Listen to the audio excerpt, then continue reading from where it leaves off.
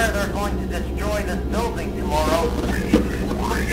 Wouldn't recommend trying to leave with the animatronics there till morning, but...